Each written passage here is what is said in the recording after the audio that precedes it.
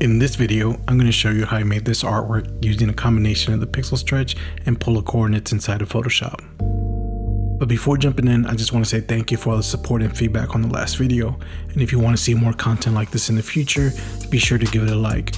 Now let's get started. First thing is to bring this image into the document.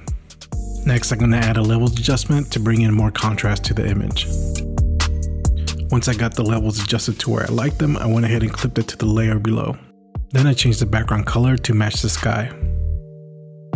Here I'm adding a mask to the skyline image, and with the soft brush I'm going to blend it into the background. Next I'm going to add a mask to the levels adjustment layer, and with the same soft brush I'm going to bring back some of the detail on the bottom of the image. Now we're ready to start the pixel stretch. To do this I grabbed the single row marquee tool, clicked on the image to make a selection, I copy and pasted the selection to a new layer. I then brought up the transform tool by using command T on the keyboard and while holding shift on the keyboard I stretched the image up. I then took the stretch layer and set the blending mode to lighten. I then added a levels adjustment and boosted up the black. Adjusting these levels helped give this layer a more translucent light beam feel. I then repeated the same pixel stretch steps, this time selecting a different area of the city.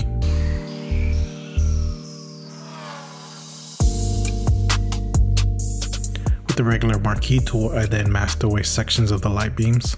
This helped give an appearance that the light beams were staggered through the city instead of being straight across. At this point, I felt like it needed a little bit more depth, so I added a third level of light beams that were a little bit closer to the foreground.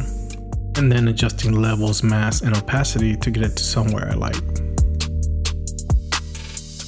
So now we're ready to use polar coordinates to get that spiral effect. First I selected the whole area by selecting Command A on the keyboard. Then I copy merge with Command Shift C. Next I created a new square document and pasted in the merged image. Then I transformed the image and rotated it around to take up the whole area of the canvas. Once I got the image placed where I wanted it, I again selected all by hitting Command A and copy and paste it to a new layer. To use this effect, you go to Filter, Distort, Polar Coordinates, and then click OK. Once everything looked good, I dragged the finished layer to the original document. And to finish it up, I tweaked some adjustments to give it a little bit more presence and contrast. We added another levels adjustment to darken up the midtones. I used a selective color adjustment layer to tweak the blues in the image. In the last step, I went ahead and added some glow to the beams.